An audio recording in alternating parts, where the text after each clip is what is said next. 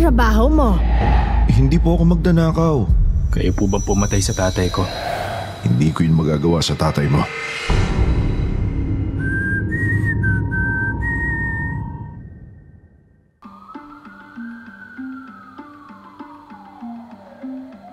Para sa mga mahihilig makinig ng mga true crime stories and mysteries, subscribe to Takip Silim Mysteries. Narrated by me, Jupiter Torres. Takip Silim Mysteries. Subscribe now.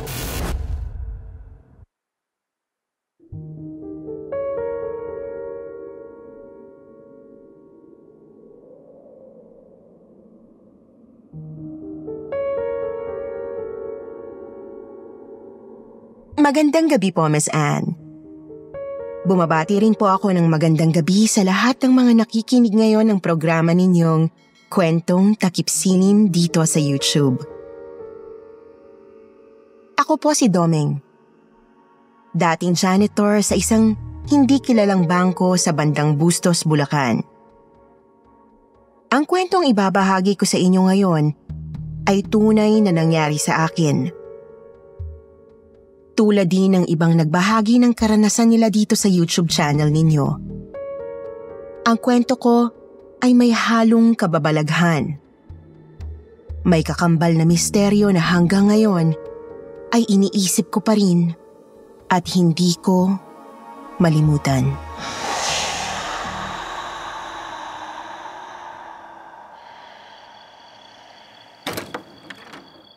Changelay, Domeng, ikaw na ba yan? oh, bakit gising pa ho kayo? Eh, mag-aalas 12 na ho ng gabi, Chang. Eh, bakit nakaluhod pa kayo dyan sa altar? Araw ng kamatayan ng pinsan mong si Rodelo. Pinagtitiri ko siya ng mga kandila. Eh, kumain na ho ba kayo ng hapunan? Hindi pa. Eh, bakit hindi pa kayo naghahapunan? Wala na bang bigas? Namalengke ako kahapon ha. May isang kilo ng manok sa ref dyan, Chang. Alam ko, Domeng. Oh, hindi ko kayo nagluto. Bakit? Nagfa-fasting ako. Na naman. Ilang beses nyo bang gugutumin ang sarili nyo, Chang Elay? 76 na ho kayo. Hindi na ho kayo bata, Chang. Mamaya magkasakit pa kayo sa kaka-fasting nyo. Kailangan kong mag-fasting para mas effective tong pagtitiri ko ng kandila.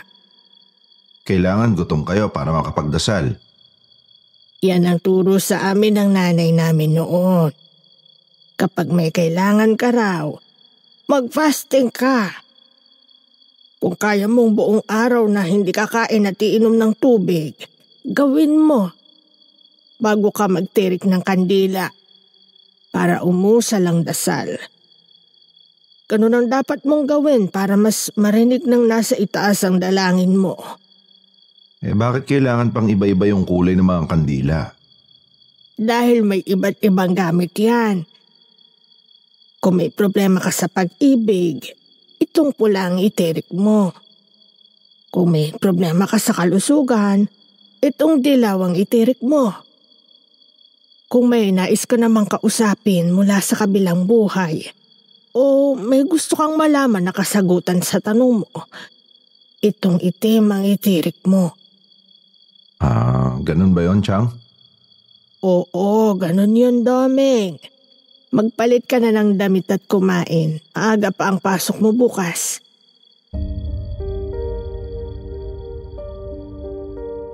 Deboto ni Padre Pio ang Chang Elang ko, Miss Anne. Sabi ng nanay ko bago siya pumanaw, Bata pa lang sila ay may taglay na raw na misteryosong katangian ang tsahin ko. Bukod sa pagiging relihiyosa nito, mahilig din daw itong tumuklas ng mga bagay na may kinalaman sa espiritismo at kulam. Kaya mailap daw sa tao ang siyaelay ko. Tumanda siyang kukunti ang kaibigan. Nagkaroon ng isang anak ngunit maaga rin itong pumanaw dahil sa sakit na leukemia. Ang siyang Elay ko na lang ang kasama ko sa buhay kaya nagsisipag akong mabuti sa trabaho ko para may maipangtustos sa pagpapagamot sa kanya sa sandaling magkasakit siya. Pinaghandaan ko ang kinabukasan naming dalawa kaya naman halos hindi na ako umuwi sa bahay sa sobrang pagpupursige sa buhay.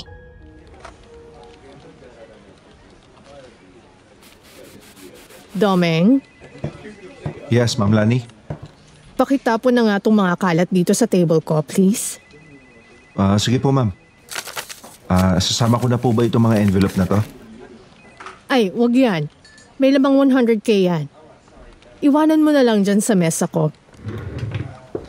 Magsi-CR lang ako. Opo, ma'am. Sige po.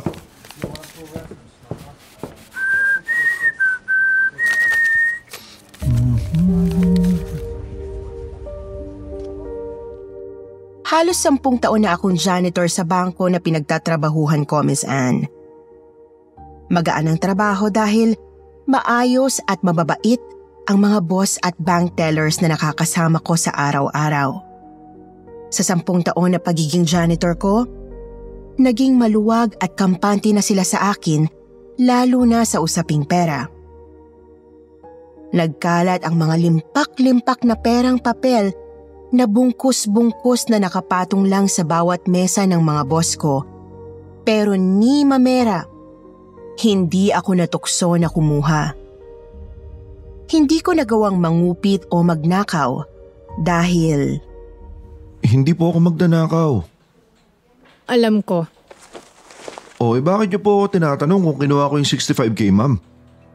tinatanong kita dahil ikaw lang ang naglinis ng table ko nung nag-coffee break ako. Ma'am, may tatlong kliyente po yung umupo dito kanina, di ba?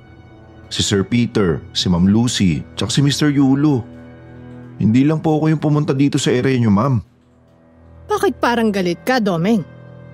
Eh, dahil hindi naman po kasi ako magdanakaw, mami. Hindi ko sinabing magnanakaw ka. Eh, pero yun po yung laman ng utak niyo, ma'am eh. Eh, bakit hindi na lang po natin tignan sa CCTV kung sino po yung nagdakaw ng pera? Sira ang CCTV dito sa area na to, hindi gumagana. Hindi pa nare-repair. Eh, hindi ko na po siguro kasalanan kung sira pala yung CCTV na nakatapat dito sa desk niyo, ma'am. Kaya nga sa'yo ko nagtatanong. Dahil ikaw ang palaging nandito sa area ko. Wala nga po kinukuha ang 65k dyan sa mesa niyo, ma'am. At kaya kong patunayan yun.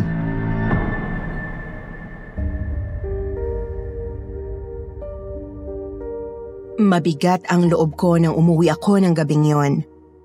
Noon lang kasi ako napagbintangan na kumuha ng ganoon kalaking halaga.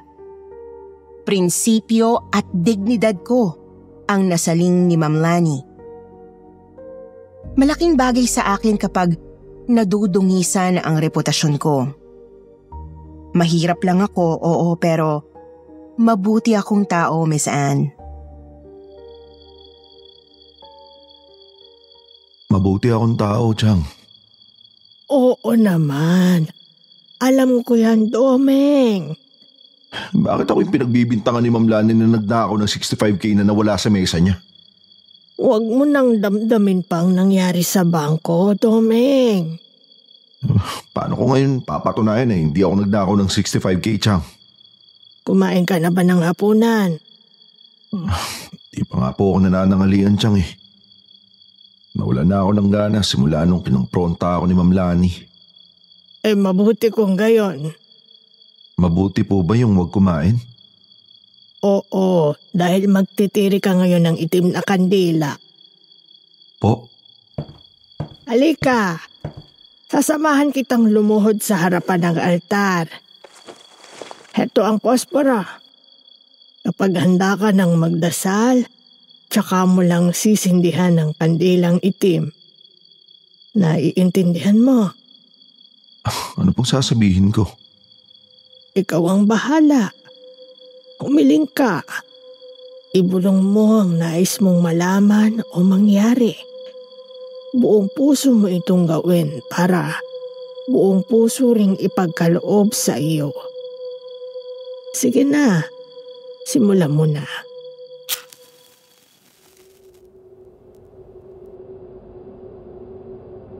May kung anong lamig akong naramdaman na bumalot sa aking likuran nang titigan ako ng tsahin ko.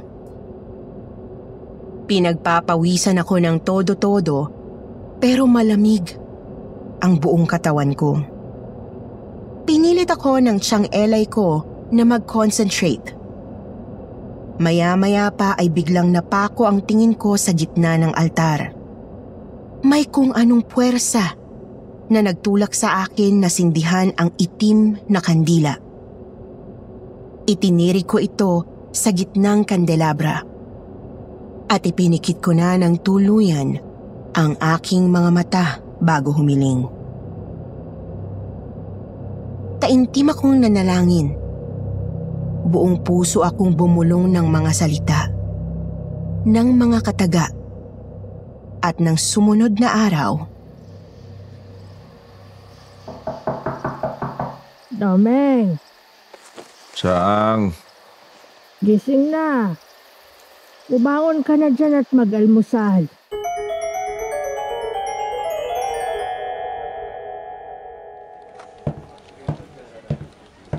Domeng, Ma'am Lani? kakausapin ka ng HR at ng ibang boss natin. Oh, ngayon na po ba ma'am?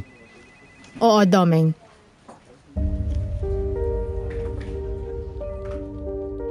Biglang bumukas ang pintuan ng bangko at pumasok sa loob si Mr. Yulo. Ang palaging kausap ni Miss Lani na client ng bangko namin. Kakaiba ang itsura nito. Gulo-gulo ang buhok niya na parang kakabangon lang niya sa kama. Hindi magkapares ang sapatos na suot niya. May dala siyang maliit na bag na itim habang tulalang umupo sa harapan ng desk ni Miss Lani.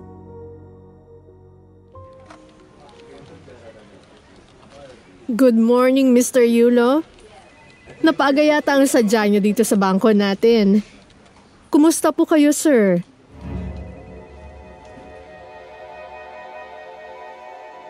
Hindi kumibo si Mr. Yulo. Nakatitig lang ito kay Ma'am Lani. Walang kurapan itong inabot ang itim na bag. Ano po ito, sir? Hindi pa rin kumibo si Mr. Yulo. Binuksan ni Ma'am Lani ang itim na bag sa harapan naming lahat na naroroon. Medyo nagulat si Ma'am Lani sa laman ng bag. Nilabas niya ang tigi isang libong pera na nakabungkos. Magde-deposit po ba kayo, Mr. Yulo? Umiling si Mr. Yulo. Humindi siya. Binilang ni Ma'am Lani ang bungkos ng pera. Natigilan siya ng 60, 61, 62, 63, 60... 65k. 65? Biglang tumayo si Mr. Yulo at parang wala sa sariling nagtatakbo papalabas ng bangko. Tinabol siya ng mga security guard namin pero hindi na siya naabutan. Itinabi ni Ma'am Lani ang 65,000 sa vault bago ako kinausap. Si Mr. Yulo ba ang kumuha ng 65k? Hindi na ako umimik pa. Ngumiti na lang ako at tahimik na nagpasalamat sa Diyos. Sa wakas, napatunayan ko ang punto ko. Kung sino man ang totoong nagnakaw ng 65,000, hindi na namin nakumpirma. Ang mahalaga, napalitan ang nawawalang 65,000 ng bangko. Salamat sa itim na kandila ni Chang Elay. Kung ano ang hiniling ko, yun nga ang ibinigay.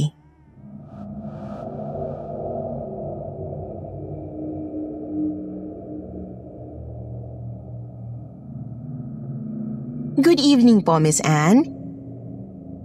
Good evening din po sa lahat ng mga nakikinig ngayon ng programa ninyong Kwentong Takip Silim. Lalong-lalo na sa mga subscriber ninyo dito sa YouTube.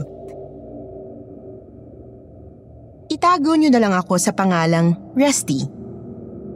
Anim na pung taong gulang na ngayon. Isa po akong dating janitor sa isang kumpanya na matatagpuan sa malaking building sa Maynila. Huwag na lang nating pangalanan ang kumpanyang pinasukan ko, Miss Anne, bilang galang sa kanilang pribadong buhay. Ang kwentong ibabahagi ko sa inyo ngayon ay tunay na nangyari sa akin. Ang istorya ko ay may halong kababalaghan at katotohanang mahirap paniwalaan. Kayo na lang po ang humusga kung ito ay imbento o sadyang makatotohanan.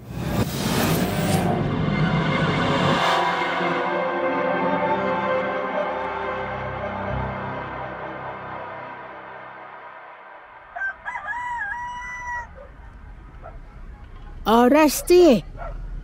Mabuti naman at gising ka na. Mag-almusal ka na at sasamahan kita sa tindahan ni Uping sa bayan. Tindahan ni Upeng, Lola? Para saan? Di ba't sinabi ko na sa'yo na ipapasok kita doon bilang kargador? May trabaho na ako, Lola. Ano? Eh kailan pa? Anong trabaho mo? Janitor po. Janitor? Saan? Sa dating kumpanya nila tatay. Ano? Doon sa malaking building sa Maynila. Alam ko. Eh bakit doon ka nag-apply ng trabaho? Alam mo namang, Ginawa ko talaga lahat ng makakaya ko para makapasok sa dating kumpanya ni tatay. Mabuti nakapasok ako bilang janitor. Resty. Wala nang yung ama. Manahimik na tayo. Lola, ilang beses ko na sinabi sa inyo yung plano ko, di ba? Gagawin ko ang lahat para hanapin yung taong pumatay sa tatay ko. Resty. Hindi ako papayag na pati sa'yo ay may mangyari ding masama. Tulad ng nangyari sa tatay mo.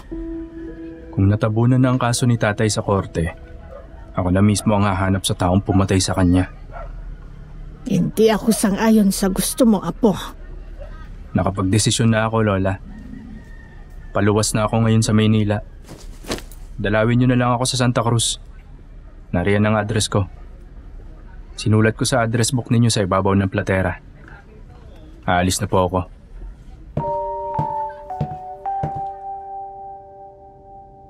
Sa totoo lang, hindi naman talaga yung trabaho ang habol ko sa building na yon, kundi yung katotohanan sa likod ng nangyaring pagkamatay ng tatay ko.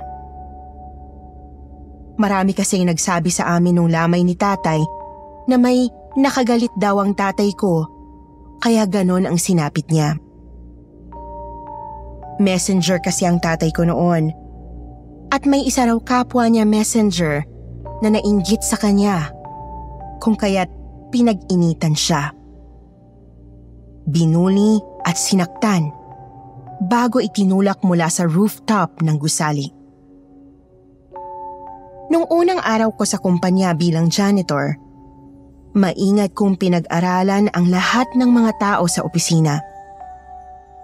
Kinilala ko ang bawat isa mula sa pinakamababang pwesto hanggang sa pinakamataas. Naglilinis ako noon sa pantry ng opisina nang may isang matangkad na lalaking maitim at may maskuladong katawan ang lumapit sa akin.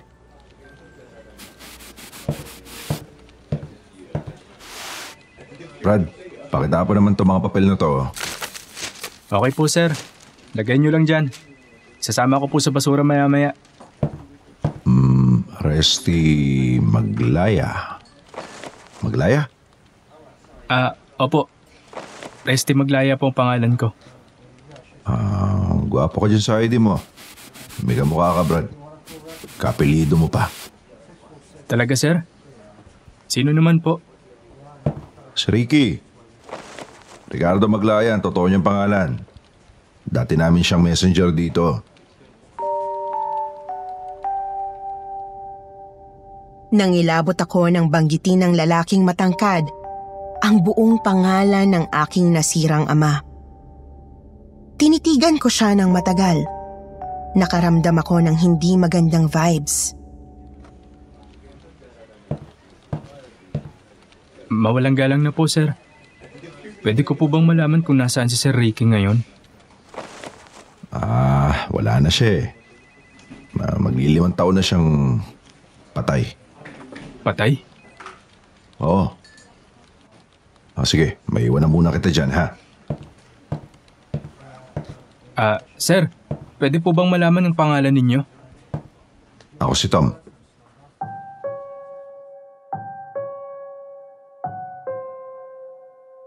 Bigla kong naalala ang mga kwento ng tatay ko noong buhay pa siya. Palagi niyang nababanggit ang pangalang Tom.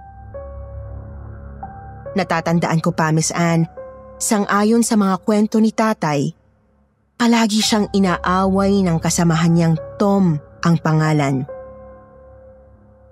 Isang gabi, na naginip ako, Miss Anne. Sa totoo lang, hindi ko masyado napapanaginipan ang tatay ko simula nung mamatay ito. Kaya nang bigla ko siyang napanaginipan, iba ang dating sa akin ito. Sa panaginip ko, nakita ko siyang nasa loob ng locker room. Malungkot siya habang may sinusulat sa papel na kulay dilaw. Dumating si Sir Tom na messenger Binigay niya ang papel dito. Pagkatapos, naglakad na siya ng mabilis paakyat sa rooftop. Napakataas ng building. Pagkatapos ng 37th floor, rooftop na. Ganoon kataas ang gusali na pinagtatrabahuhan ko. Pagdating sa rooftop, nakita kong sumilip si tatay sa gilid ng barandilya. Malakas ang hangin noon at nawalan siya ng balanse. Tay! Mag-iingat kayo, baka mahulog kayo dyan! Biglang nagdilim ang kalangitan nang lumingon siya sa akin. Takot na takot ako nang makita ko ang mga mata niya. Lumuluha siya ng dugo. Biglang may matangkad na lalaking sumulpot mula sa pintuan ng rooftop. Tumakbo ito patungo sa tatay ko. Ricky! Wag! Tay! Biglang itinulak ng lalaking matangkad ang tatay ko. Hindi na nakasigaw si tatay nang tuluyan siyang mahulog mula sa rooftop ng building pabagsak sa pinaka-ground floor. Ricky! Sir Tom, bakit mo tinulak si tatay? Ricky!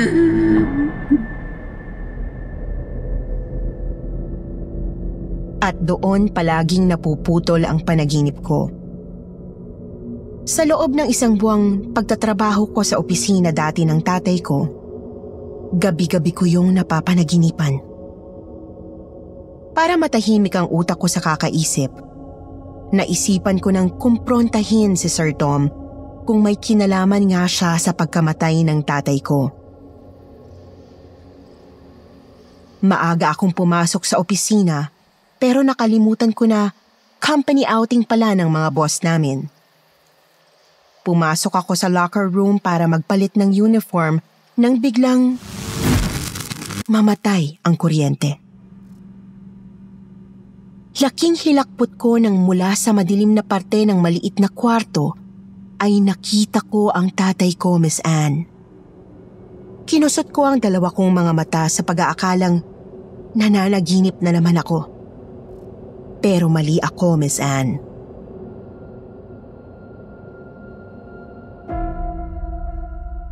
Tay, Luhaan ng tatay ko nang tingnan niya ako. Mistulang usok ang buong katawan niya. Doon ko lang napagtanto na multo na yung kaharap ko noong mga oras na yon. Lumutang papalabas ng locker room si tatay. Umakyat siya papuntang rooftop. Sinundan ko siya, Miss Anne, pero nang makarating ako sa rooftop, ibang tao na ang nakita ko.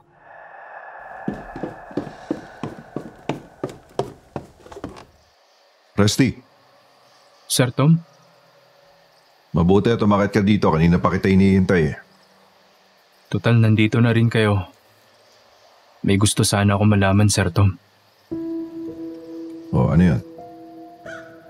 Kayo po bang pumatay sa tatay ko? Kayo bang nagtulak sa kanya? Hindi ko siya pinatay, Rusty. Pero, oo, tinulak ko siya. Natigilan ako sa huling narinig ko mula kay Sir Tom. Hindi ko napigilan ang galit ko. Sinunggaban ko siya at itinulak sa gilid ng barandilya ng rooftop.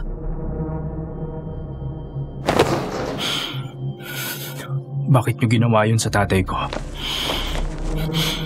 Bakit? Itinulak ko siyang magdasal pero hindi siya nakinig. Itinulak ko siyang magpakalayo-layo sa negatibong pag-iisip pero hindi siya nakikinig. Itinulak ko siya papalapit sa inyong pamilya niya. Pero sumuko na raw siya sa inyo. Kaya siya tumalon at nagpakamatay. Hindi. Hindi po totoo yan. Eto, matagal ko nang gustong ibigay sa iyo yung sulat niya.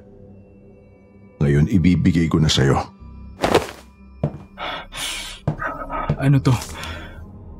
Suicide letter ng tatay mo. Hindi ko na napigilan ang mga luha ko. Nang basahin ko ang sulat ni tatay para sa amin ng lola ko. Kinilabutan ako nang makita kong kulay dilaw ang papel. Katulad na katulad ito nung sulat na ginawa ni tatay sa panaginip ko.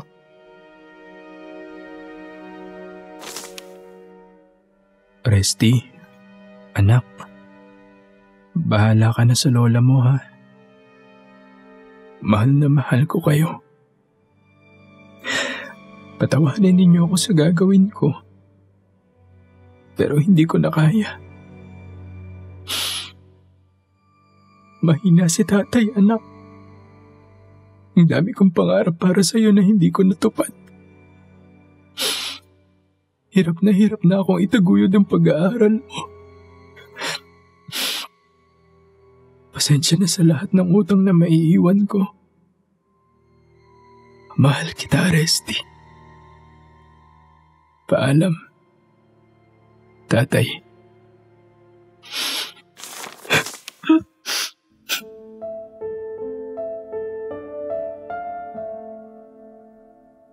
Kinalma ako ni Sir Tom at kinausap ng mahinahon.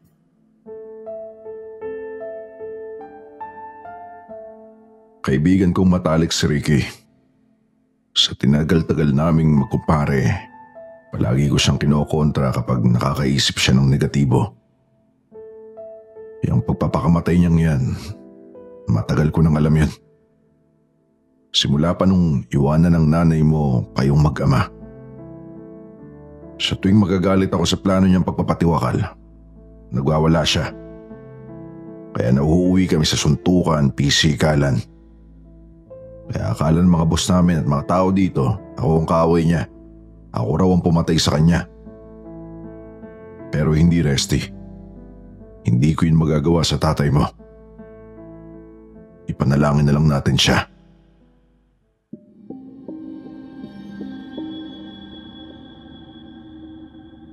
Pinatawad ko ang tatay ko sa nagawa niyang malaking pagkakamali, Miss Anne. Nang nalaman ko ang katotohanan, biglang naging mapayapa ang buhay ko. Naglaho ang mga panaginip ko, pero hindi pa rin ako nakalimot na magbigay pugay sa tatay ko. Sa sobrang pagmamahal niya sa aming maglola, ibinuwis niya ang kinabukasan niya. Sayang pero nangyari na. Kailanman ay hindi solusyon ang suicide sa problema. Para sa tatay ko, patawarin mo kami kung naging pabigat kami sa'yo. At pinapatawad ka rin namin sa lahat ng ginawa mo. Rest in peace, tatay. Hanggang dito na lang. At hanggang sa muli.